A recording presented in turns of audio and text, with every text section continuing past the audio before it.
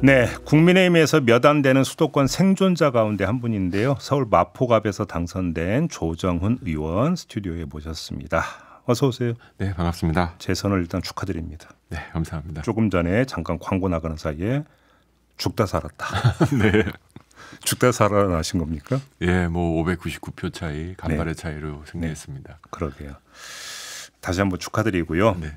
지금 총선 백서 TF 단장을 맡으셨더라고요. 네. 의원님께서 직접 자원을 하신 걸로 이렇게 알려지고 있는데 맞습니까? 뭐 아무도 하지 않으면 제가 하겠다. 음. 그랬더니 진짜 시키시네요. 왜 왜 자원하셨어요? 아, 다시는 지고 싶지 않아서요. 아 그래요? 네. 음. 아, 저는 뭐 간신히 이겼지만 음.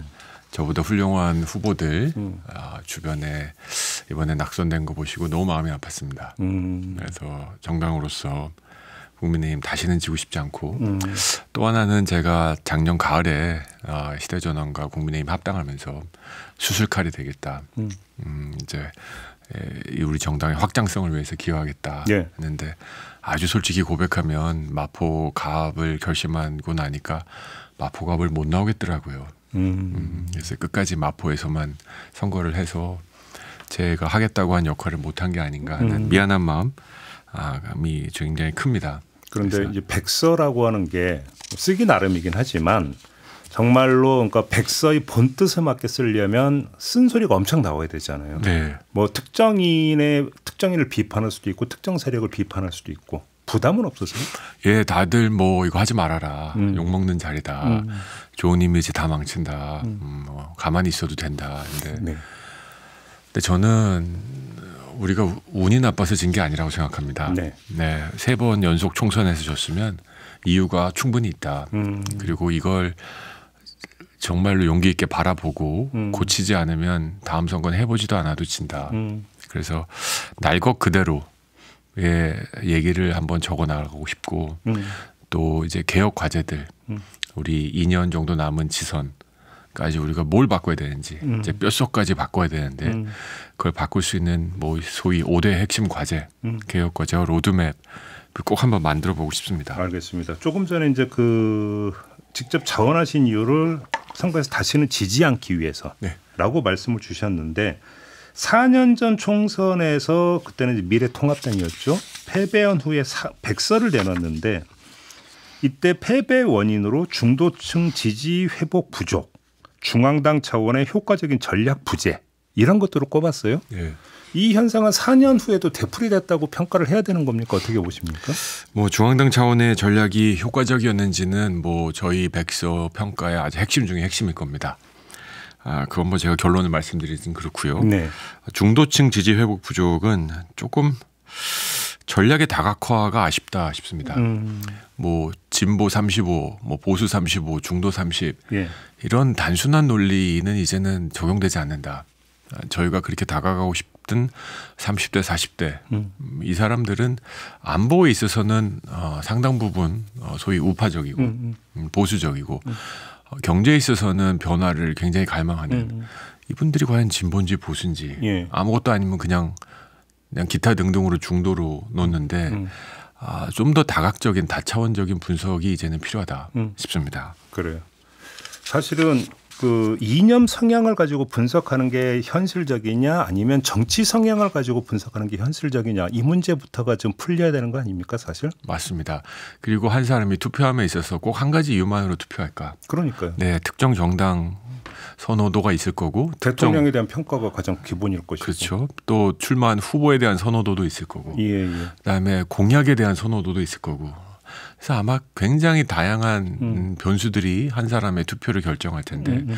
우리는 아 보수면 무조건 우리 음. 아, 뭐 진보는 안 찍으니까 포기 음. 뭐 이런 단순한 논리로 접근하다 보니 네. 아, 이런 결과가 나온 게 아닌가 하는 생각도 합니다. 알겠습니다. 한 인터뷰에서 빅데이터를 깊이 보고 싶다 이런 말씀하셨는데 어떤 데이터를 말씀하시는 거예요? 네. 어, 총선 패배 원인을 갖고 지금 뭐 백가쟁명식 논쟁이 벌어지고 있습니다. 예. 뭐큰 틀에서는 뭐 용산이냐 당이냐 음. 뭐 어, 인물을 갖고 논의하기도 하고요. 음. 또 공약, 뭐 전략, 또 여의도 연구원이 과연 어떤 역할을 했냐. 음. 근데 이게 한두 사람의 그 소위 말빨 센 사람들의 주장만으로 믿기에는 너무나 중요한 분석이기 때문에 음. 아, 소위 MRI를 찍는 어, 느낌으로 음. 데이터와 설문조사를 하자. 음. 저희가 이제 곧 어, 254명의 후보 모두 이게 설문조사를 하려고 합니다. 어, 예, 예. 네, 그래서 이 설문조사 우리 구성원들이 어떻게 생각하시는지 음. 그리고 당원과 국민 여러분들에게도 설문조사를 해서 우리가 왜 졌다고 생각하시는지 음흠. 아, 아 그런 거 부터 시작하려고 합니다. 제가 어떤 의도도 담지 않고 네. 그냥 날 것 그대로 왜 졌는지 그냥 음. 수술대 위에 환부를 드러낸 느낌으로 근데 TF에 외부 인사도 참여를 하나요? 네 그렇습니다. 아, 그래요? 네, 21대 TF에는 한 13분 음. 어, 당선자, 낙선자 전문가들이 다양하게 참여했습니다. 예. 알겠습니다. 이제 그 전당대회에서 당 대표 뽑아야 되잖아요. 돌고 돌아 저밖에 없다면 해야 되지 않겠느냐 이런 요지에 말씀하셨습니다. 결심을 하신 겁니까? 아 아닙니다. 아 저보다 더 좋은 선배 동료 의원들이 나서 주시길 기대하고요. 네.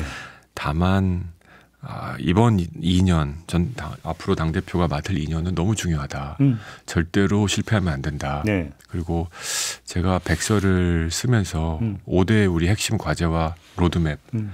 아, 이걸 누가 가장 잘 실천할 수 있을지를 음. 기준으로 우리 당 대표 선거에 가 진행됐으면 좋겠다. 음. 음, 그리고 아, 많은 분들이 뭐 수도권 후보론 얘기를 하시는데 네. 뭐그 부분에 어느 정도 공감이 갑니다. 그래요. 네. 음. 뭐 필요하면 음. 그 어떤 누구도 몸살일 상황은 아니라고 제가 그러면 말씀드렸고 이렇게 비교해서 연관지어서 한번 질문 드려보고 싶은데 이제 5월 3일에 원내대표 경선 실시하죠. 그래서 친윤 핵심으로 꼽히는 이철규 의원이 원내대표 경선에 나올 것이다. 그리고 좀 가능성이 높지 않느냐 이런 지금 그 분석이 나오고 있는 건데요. 만약에 이 분석이 현실화된다면 국민의힘은 역시 친윤 중심의 정당이다라는 어떤 또 그러니까 잠정 결론에 도달을 할 거고 그러면 결국 당 대표 경선도 그 범위 안에서 치러지는 거 아니냐라는 전망으로도 연결이 될 수 있는데 이 점은 어떻게 생각하십니까? 그런 시각이 분명히 존재합니다. 예. 따라서 그런 시각을 우리가 어떻게 대응할 것인가. 음. 음, 뭐 친윤이 죄는 아니고 예. 어, 뭐 대통령과 친하다는 게 죄가 될 수는 없죠. 특히 집권당에서. 네. 어, 다만 이제 뭐 의원들 당선인들의 투표로 결정되는 거기 때문에 음. 108명 중에 어떤 분 얼마나 많은 수가 여기 동의하느냐. 예. 그리고 만에 하나 이제 원내 대표가 소위 대통령실과 소통이 편한 분들로 된다면 음. 당 대표는 음. 어느 정도 건강한 긴장 관계를 유지할 수 있는 그래서 당 대표와 원 그 원내 대표가 균형을 맞추는 음. 그것도 하나의 방법이 아닐까 싶네요. 근데 한번 그럼 좀 더 범위를 넓혀서 정진석 의원이 지금 비서실장으로 임명이 되지 않습니까? 네. 정진석 의원도 다수의 분석에 따르면 친윤으로 꼽히는 분입니다. 친윤 비서실장과 만약에 친윤 원내대표가 등장을 한다면 네, 그 사이에서 당 대표, 네, 당 대표가 친윤이 아닌 만약에 당 대표가 나온다라면 네. 대표로서의 권한과 위상을 충분히 그러니까 누리고 발휘할 수 있을까요? 그 공간을 만들어주지 못하면 국민의힘은 뭐 미래가 없습니다. 그래요? 네, 저는 뭐 비서실장은 거듭 말씀드렸지만 뭐 협치 대상은 아니라고 봅니다. 음. 뭐 누가 비서를 공유하겠습니까? 가장 친한 사람 고용하는 거 맞고요. 다만 국무총리는 협치 대상이겠죠. 예. 그래서 앞으로 이제 예상되는 영수회담 등에서 야당의 의견을 충분히 듣는다. 뭐 이거는 동의합니다. 마- 음. 이처럼 국무총리 협치, 비서실장은 내치, 음. 원내 대표는 내치죠. 원내를 하니까. 그래서 그런 조합도 하나의 가능성이다 싶습니다. 그러면 종합해서 질문을 한번 이렇게 드려볼게요. 자, 총선 결과가 나왔습니다. 이 총선 결과가 나오는 데 있어서 이른바 그 당내외의 친윤의 역할 내지 책임의 정도는 어느 정도라고 규정을 하십니까? 아, 그걸 제가 뭐 이미 답을 정해놓고 백서를 쓴다고 생각하시기 때문에 그렇게 말씀드릴 수는 없고요. 네. 아, 저의 의견보다는 저희 구성원들, 특히 후보 254명은 음. 어떻게 생각하셨는지, 음흠. 또 국민의힘의 당원들은 어떻게 생각하는지 음. 이 설문조사를 진행해 보면 아, 뭐 아, 날것 그대로 저희가 공개할 예정입니다. 네. 아, 보다 신뢰성 있는 데이터들이 나오지 않을까 싶네요. 그러면 아까 이제 잠깐 4년 전 백서에서 중앙당의 전략 부재가 이제 기술되어 있다라는 이제 질문을 드렸잖아요. 그러면 똑같은 것으로 이번 총선에서 중앙당의 전략을 진두지휘했던 것은 한동훈 비대위원장 아닙니까? 그분의 공관은 어떻게 평가를 하십니까? 저는 개인기로서는 동급 최강이었다고 생각합니다. 그래요. 네, 한동훈 위원장의 등장과 함께 음. 쏟아졌던 그 언론의 조명 그리고 뭐, 뭐 비교가 안 될 만큼 적던 언론 보도량이 이제 한동훈 위원장의 등장으로 완전히 뒤집혔죠 하룻밤에 아, 아마 그런 개인기를 갖고 있는 국민의힘 정치인도 드물다. 음. 음, 다만 아, 총선 결과를 냉정하게 놓고 보면 한 사람으로서의 개인기가 총선에서 할 수 있는 역할엔 분명히 한계가 있었다. 음. 그래서 공약, 그다음에 전략, 음. 뭐 공천 이런 모든 것들이 아마 아, 다 총선 패배에 기여했지 않았나. 그러면 그 말씀을 좀 그 제 딴에 해석을 하면 윤석열의 그림자들을 벗어나는 참 역부족이었다. 혹시 이렇게 해석할 수 있을까요? 아니요. 아, 저는 그렇게 해석할 건 아니라고 생각하고요. 예. 아, 총선의 책임의 진짜로 음, 총선에서 책임 없는 사람은 아무도 없습니다. 아, 저도 책임이 크고요. 음. 음, 우리 구성원 모두 다 책임이 있다고 생각합니다. 근데 누가 51%의 책임을 지느냐 이래 버리기 시작하면 이제 쌈박질이 나겠죠. 그렇죠. 네. 예. 그러면 좋아할 거는 저 상대방과 음, 음. 저희를 지지하지 않는 분들이시겠죠. 음. 그래서 그 정도로 하시죠, 뭐. 그러면 윤석열 대통령의 오찬 초청을 거절을 했잖아요. 건강상의 이유로. 근데 어제 오늘 또 나온 보도를 보면 건강상 이유로 거절을 했는데 지난주에 또 비대위원들하고는 만찬을 했다라는 보도가 나왔습니다. 한동훈 위원장 이런 행보는 그럼 어떻게 이해를 해야 되는 걸까요? 어, 한동훈 위원장의 뭐 홀로서기냐, 음. 뭐 이제 각을 세우는 거냐, 차별화냐 하시는데 음. 제가 아는 한 한동훈 비대위원장은 윤석열 정부의 탄생의 뭐 1등 공신 중에 한 명이고요. 음. 지난 2년 동안의 국정 운영의 뭐 가장 핵심 인물 중에 하나였죠. 법무부 장관으로서 아, 공동 운명체라는 사실을 벗어날 수는 없을 거다. 윤석열 대통령과. 그럼요. 음. 그래요? 어, 뭐 정권 탄생의 1등 공신이고 네. 어, 지난 2년 가장 중요한 시기에 핵심 국정 운영의 파트너였고 음. 근데 앞으로도 3년이나 남은 어, 2년도 채 안 됐죠 아직 음. 상황에서 차별화 저는 뭐 이게 바람직할까 하는 생각은 들고요. 그래요. 하지만 정치인 한동훈으로서 어, 자기가 생각하는 비전과 아, 철학들을 더 구체화시키겠다. 음. 뭐 이게 윤석열 대통령과 뭐 100% 싱크로 되지 않는다. 음. 이것 또한 뭐 당연하지 않겠습니까? 그럼 한동훈 전 위원장 혹시 따로 대화를 좀 나눠보신 적이 있어요? 총선 패배 후 비대위원장 사퇴 이후에는 없습니다. 아 그래요? 네, 음. 전화 통화도 하신 적이 없고. 없습니다. 그런데 총선 패배 후 홍준표 대구시장이 한동훈 전 위원장 저격을 상당히 많이 하지 않았습니까? 그건 네. 어떻게 평가를 하세요? 두 분이 뭐 좀 개인적 감정이 있으신지 이렇게 선배님이 홍준표 시장님이 이렇게 한 놈만 패 이거 하는 것도 참 오래간만이신 것 같은데 예, 예. 예. 어, 두 분이 뭐 사연이 있으신지 잘 모르겠습니다만 음흠. 아, 이제 좀 이제 좀 조용해 이제 좀 잠잠해지신 것 같습니다. 음. 뭐 이유가 있으시다고 짐작은 합니다만 네. 해봅니다만 예. 역시 그 한 사람의 에, 과책으로 다 몰아가기에는 우리의 패배가 너무 크다. 음. 그리고 구조적이다. 음. 그래서 우리 모두 다 책임을 공감할 필요가 있다 지금은. 그러면 홍준표 시장의 공격이 좀 과한 측면이 있다 이런 말씀으로 이해를 해야 되겠네요. 뭐 그렇게 보면 이제 홍준표 시장님이 굉장히 불편하실 텐데 네. 아, 선배님으로서 예.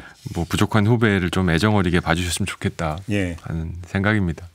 근데 윤석열 대통령이 한동훈 위원장을 비롯한 비대위원들을 모두 초청을 했잖아요. 근데 그 전에 윤석열 대통령 홍준표 대구시장을 따로 따로 단둘이 만나서 4시간 만찬을 했단 말이에요. 그럼 여기서 갖는 궁금증이 하나가 생기는데 이제 그 비대위원들을 모두 불러서 그동안 고생했다고 오찬하는 것과는 별도로 한동훈 위원장을 따로 불러가지고 한번 허심탄회하고 깊이 있는 대화도 나눌 수 있는데 그 얘기는 안 나왔거든요. 이건 어떻게 이해를 해야 될까요? 뭐 대통령이 하루에 세 끼 식사하시는데 아, 뭐 누굴 먼저 만나야 되고 네. 그 다음은 순서를 어떻게 정하느냐 뭐 음. 정치적 의미를 부여하는 건 뭐 무죄죠. 네. 그럼에도 불구하고 그 일정을 다 공개해놓고 우리가 검토하지 않는 한 왜. 얘기 먼저고 이게 나중이냐 음. 그러기에는 뭐 특별히 큰 의미는 없다 싶습니다. 알겠습니다. 아무튼 총선을 치러보고 민심 가장 가까이서 체감을 하신 입장에서 네. 윤석열 대통령이 이걸 좀 가장 먼저 했으면 좋겠다 내지 이걸 좀 가장 먼저 바꿨으면 좋겠다라고 하는 부분이 있다면 어떤 걸까요? 저는 대통령이 야당과의 대화 소통에 노력을 하시는 건 박수 칩니다. 예. 하지만 음. 그거보다 더 중요한 건 국민과의 대화와 소통이라고 생각합니다. 음, 국정 방향은 맞았지만 방식에 국민 눈높이에 맞지 않았다. 뭐 정확한 분석이라고 생각하십니다. 음. 아, 어떻게 하면 국민들과 좀 더 소통을 할수 있는가, 음. 또 국민을 대표할 수 있는 또는 국민을 대신해서 질문하고 있는 언론인들과 어떻게 더 음. 자연스럽고 솔직하게 소통하는가. 아, 여기가 핵심이지 야당과의 대화가 우선 아닐 수도 있다. 알겠습니다. 국민과의 소통이 우선이다 싶습니다. 마지막으로 짧게 김건희 여사의 공개 활동 재개 여부가 다시 또 논란이 될 조짐을 보이고 있는데 어떻게 된다고 생각하십니까? 짧게 말씀 주신다. 뭐 대통령 배우자로서 예. 음, 필요한 활동 하시는 거 뭐 말리지 않는다 싶습니다. 음. 음, 하지만 우리 국민들이 굉장히 지금 어려운 민생이다. 음. 너무 이렇게 블링블링하는 밝음보다는 네. 국민들의 아픔을 보다듬는 활동으로 어, 나가셨으면 어, 좋겠다 싶습니다. 어, 어, 그래요. 알겠습니다. 마무리할게요. 고맙습니다, 의원님. 네, 감사합니다. 국민의힘의 조정훈 의원과 함께했습니다.